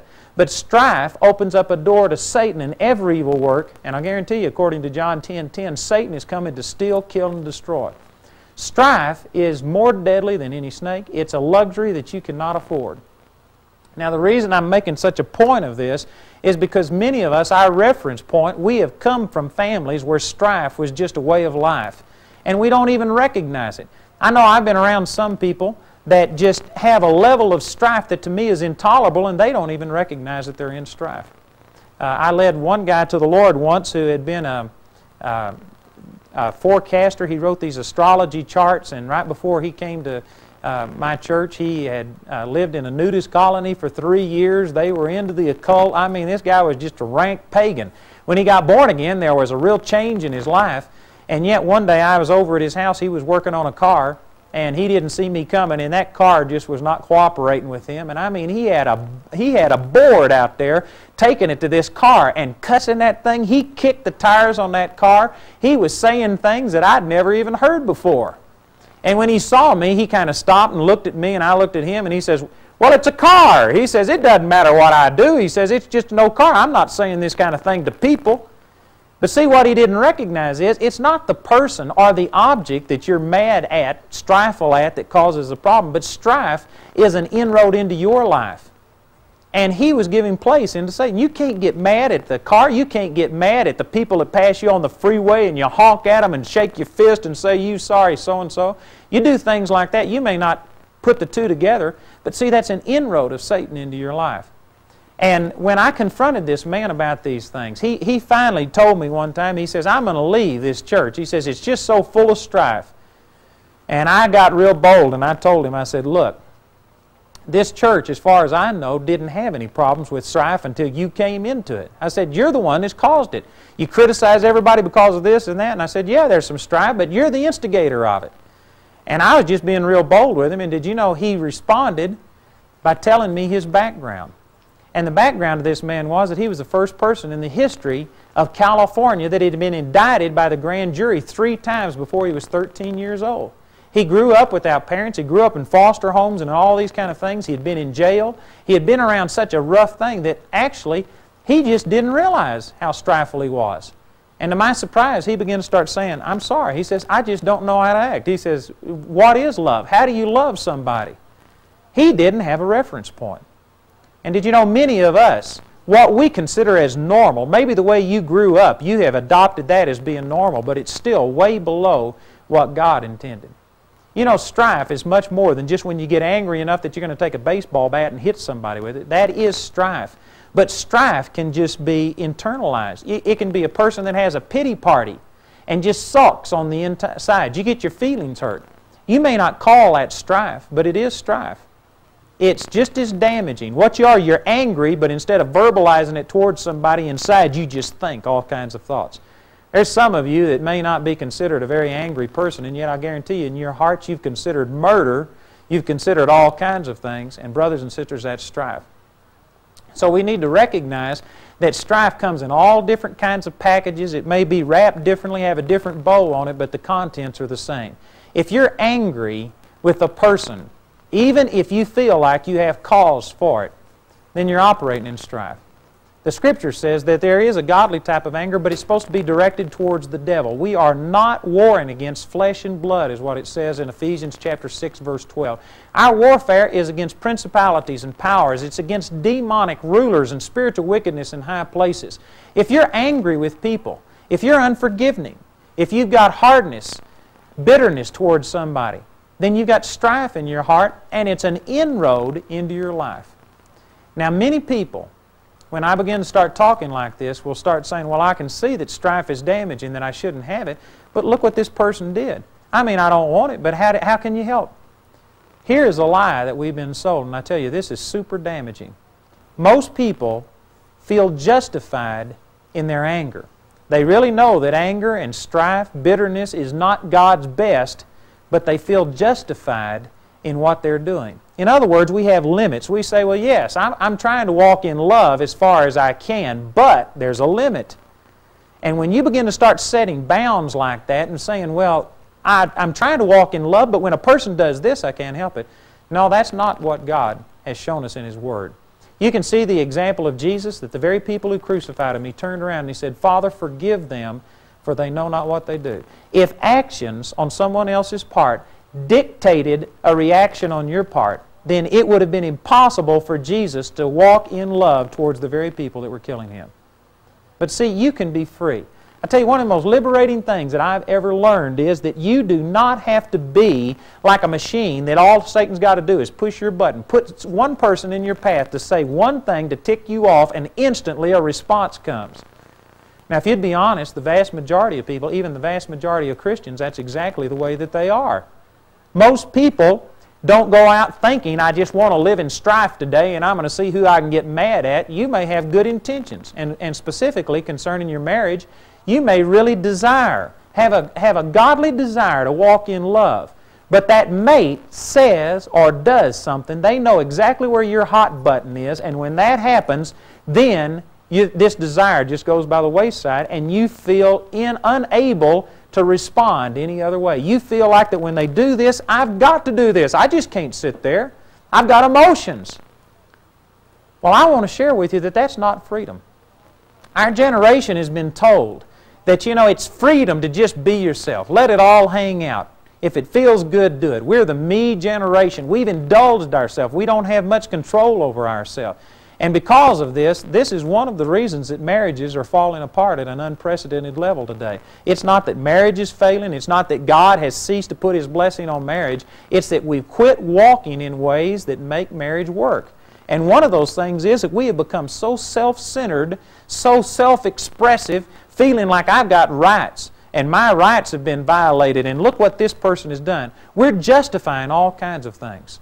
So many stories are being presented on radio, television today, in these uh, movies that we watch, uh, the entertainment that we watch on television. They're justifying all kinds of things. And most people today feel justified to get a divorce at the drop of a hat. They feel justified to be angry. It's being presented that way. But, brothers and sisters, I want to show you what the root cause of strife is.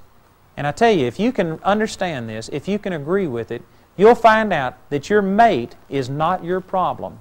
It's what's inside of you that makes you respond to your mate the way you do. That's the problem. Out of Proverbs chapter 13, verse 10, I'd like for you, if you're in a position where you can, to look this up in your Bible and read it. I'd like for you to read this because you wouldn't believe it's in the Bible if you didn't read it. You'd think for sure this is something I'm just quoting. But Proverbs chapter 13, verse 10 says, Only by pride cometh contention, but with the well advised is wisdom. Now that scripture says only by pride. It didn't say that pride is one of the ways that contention comes. It didn't say it's a major way, it's one of the important ways. It says only by pride comes contention. If you look at a corresponding scripture to this over in Proverbs chapter 17, verse 14, it says, The beginning of strife is as when one letteth out water, therefore leave off contention before it be meddled with. And that scripture is showing that contention is a beginning of strife. Strife again, there's all different levels to where you're just literally exploding and then levels where it's just beginning to see. Contention is a beginning of strife. And so in Proverbs 13:10 when it says only by pride cometh contention, only by pride is the inroad into strife, the beginning of strife. Now some of you may be listening to me and thinking, well now I can see that in the word, but you know, my experience I can't understand that. I mean, I may have a lot of problems. I've got all of these different things. I'll be the first one to admit it. But boy, uh, thinking too highly of myself is not one of my problems. A lot of Christians today are beat down. They think that they're the scum of the earth. Religion has actually fostered and encouraged that and taught it as a godly attitude. And I'd say that the vast majority of people that I minister today, to today have a real inferiority attitude. They uh, are not confident of themselves. They just feel like they're a failure. Satan is beating people down and condemning them at an unprecedented level, unprecedented rate today. And so some people look at this and say, well, I've got strife in my life, but pride doesn't seem to be my big problem. I don't understand. What does this scripture mean? Well, before I give you the total explanation of that, one thing you've got to do is recognize that what most of us consider pride is just one part of pride. Traditionally, most people think that pride is thinking that you're better than everybody else, exalting yourself and looking down your nose at everybody else and being critical of them. Well, that is pride, but that's only one part of pride. That's like an extreme way over here on one side where you think that you're better than everybody else. But did you know that there's another extreme to it, and that is where you think that you're worse than everybody else? Did you know that um, a uh, timid person, a shy person, is a very proud person? Now, some people may think, well, I don't understand that. But pride, in its simplest terms, and I think you could probably be more detailed than this, but in its simplest terms, pride is just self centeredness. If a person is centered on themselves thinking self is better than everybody else, that's pride. But if a person is centered on themselves thinking, man, I can't do anything, everything I do fails, that's pride. Did you know a person, if uh, you were to stand up in front of a church group or if you were to be up trying to share what God's put in your heart, there's some of you that God has done really miraculous things, and you really do have a testimony and you have something to share. But if you were to get up in front of people, what happens is you just freeze. I mean, there's something on the inside. It's not that you don't have something to share, and yet you freeze when you get in front of people. You know what that is? We call it shyness. We call it timidness. We call it, well, that's just my characteristics. That's my nature. You can call it what you want to, but the bottom line is it's pride. It's self-centeredness. In other words, you're so concerned about what are people thinking about me? How am I going to come across? You're so self-centered that you literally lose sight of God, lose sight of what God has done in your life, lose sight of the message. You can just literally go totally blank because of self-centeredness. Now, you know, my own personal experience would verify this because when I was in high school, I had problems relating to people. I was shy. A lot of it was religious training that I had. I, I, was really outgoing at church with certain friends, but when it got around to other people, I had a terrible time relating to them. I remember uh, one time when I was a senior in high school walking down the street, and a man walked by and just said good morning. And he was two blocks down the street before I could get good morning out. I mean, I just had problems uh, relating to people, and it was all self centeredness. And when God called me into the ministry, I guarantee you I had problems with this. I had a desire to minister. I had the Word of God burning in my heart, and yet when I'd stand up and try and minister the Word of God to people, I'd get tongue tied. I'd become embarrassed. And I mean, the very first time I ever held a meeting, I preached three messages in five minutes the first night. And I mean, it was all over with, and it was because I was so embarrassed. I was so scared. And some people may have called that all kinds of things. What it was was self centeredness. And one of the things that brought me out of that, I had a man speak to me one time, and he says, if you ever get more concerned about the people that you're ministering to than you are about yourself and how you're being perceived, then you'll be a success. And you know, that's been one of the things that has helped me. I've overcome that because I'm able to be more concerned about the people that I'm ministering to than I am about myself. See, it was all self centeredness. A person that is shy, a person that is timid, is actually a very, very self centered person. It's a very proud person. Now, I'm not saying any of this to throw condemnation on you or to make you feel guilty. What I'm trying to do is to say that this scripture that says only by pride comes contention, it's true. You may not have recognized it as pride, but I promise you, only by self centeredness, if you were to put those words in there, that is the only way that strife or contention is entering into your marriage relationship. It is not that you were born with a temper. That's not it. It's not your genes. You know, I've had people, as I taught on this kind of thing, saying, well, it's my hormones. And, uh, boy, I hesitate to bring this up. I know some people think this is out of place, but it's a problem today. And there's, you know, in our society, just in the last few years, women have actually gotten to a place where about two days a month they say that it's their time of the month, and they just, two days a month, they have to act like the devil. I've known some people that actually believe that. You know, there's less than 5% of women that actually have a problem with like that PMS, and if you do have a problem, then God can heal you of it. What I'm saying is, it's not the time of the month, it's not your hormones, it's not your um, characteristics, it's not your personality, it's nothing innate within you that you have to be that way. If you're a strifeful person, whether it's this kind that blows up and screams or internalizes it and pouts, if you're full of strife, the only reason that that's so in your life is because of self centeredness, because you are constantly thinking about self. Now, that may not feel good to you, and a lot of people may take issue with that, but if I had time, I could just continue to explain this and explain it and explain it. Brothers and sisters, I believe that self centeredness, being uh, me, the most important person in my life, is the inroad of Satan you know, actually, it's the sin that Satan had against God. God had exalted Satan. The Bible shows us this in Isaiah chapter 14, had made him the anointed cherub that covered. He had all of this recognition, all of this glory, apparently like second in command to God Himself. And yet, in Isaiah chapter 14, Satan says, I will exalt my throne above the stars of God, above the throne of God. I'm going to be like the Most High God. Satan wasn't content with being number two. Self centeredness, he wanted to exalt himself. He was promoting himself. Actually, sin, the very first sin, Satan's original sin against God, was a sin of pride. It was a sin that I want what you've got. And Satan has been reproducing that in the human race. When he tempted Adam and Eve in Genesis, the third chapter, he came against them with this sin of pride about God's trying to hold something back from you. Self is being denied. Self needs to be satisfied. Self could be better if you would just do something contrary to what God said. And it was because of self centeredness that Adam and Eve actually committed the very first sin in the Garden of Eden. And the same thing is happening with us today. Our generation has been bombarded with teaching about promoting self. You know, the prosperity that we've got today, praise God for it. I thank God that He's blessed this nation, but it has literally gone wild. We've gone to an extreme. And people are indulging themselves today to where, I mean, if they don't have a brand new car, if you don't have the brand new television set, the brand new VCR, if you don't have the best of this, if self isn't indulged to a limit, that if you were to go anywhere else in the world, our standard of living our poverty standard of living would be prosperity. It'd be a millionaire in most other countries. I know that I've been to India and I went into a millionaire's house. And I mean, he had a larger house than the other people, but it still wasn't air conditioned. It still didn't look like it had been painted in 20 years. His standard of living was below what most of you would consider a poverty level, and he was a millionaire in India.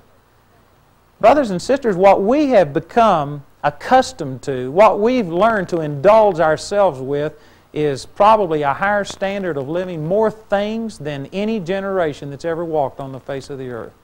We've learned, learned to indulge self. We have become more self centered than probably any other group of people that have ever lived. And according to this scripture, only by pride comes contention. We have actually been promoting and encouraging pride, and that is one of the biggest things that's destroying marriages today. It is not your mate that's your problem. It's not your personality that's your problem. It's not just a characteristic or a trait that you've got.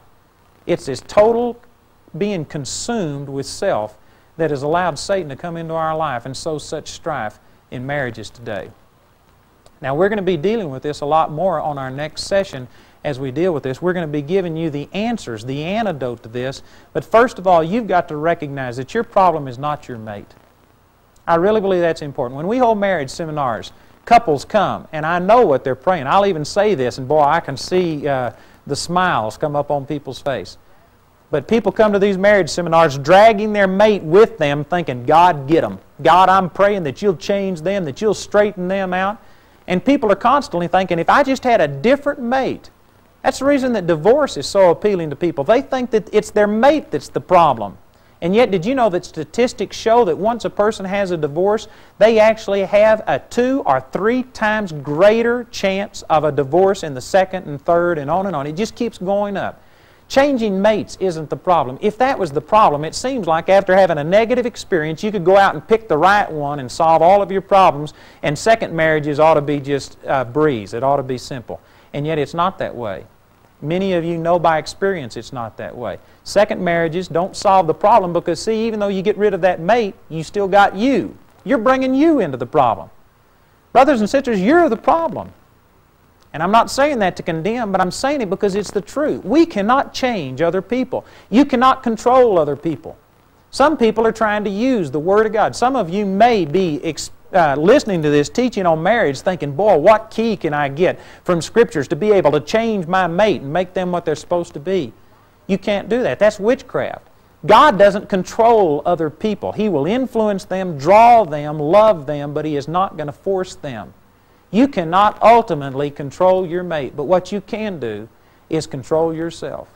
You can let God do a work on the inside of you that is so miraculous that even though you have a mate that you feel justified in all of these things, you will have that anger on the inside of you diffused. You can deal with self. You can't effectively, totally deal with anybody but self. And I want to leave you with that today. Don't think that other people are your problem. It is not your mate that's the problem. They may be a contributing factor, but ultimately the buck stops right here. You can live with that mate. God can give you grace if you will let God begin to start dealing with self on the inside of you. Self is the real problem in marriage. And so today we've shown that only by pride, only by self-centeredness comes contention. And as you deal with self, then praise God, you'll be able to overcome strife in your marriage. If you've been ministered to today by this teaching on strife, I'd like to send you this cassette tape that will go into a lot more detail. It's a 90 minute teaching cassette where we talk about strife, the cause of strife, and praise God, God's antidote to it. If you'd like to receive this tape, all you need to do is write into me and request our tape offer TF13. Please use that number when you request it, TF13. This tape is a gift to you. There's no charge to it. We'll be glad to send it to you because I know God's going to use it to touch your life. But if you can help us financially, that's the way that God enables us to be on television, radio, and put out these tapes. Remember when you write in to request it, by this number TF13.